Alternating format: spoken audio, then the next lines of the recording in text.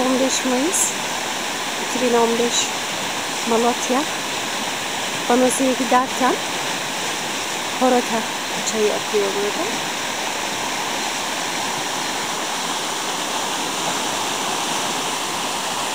Kargalar ve su sesi.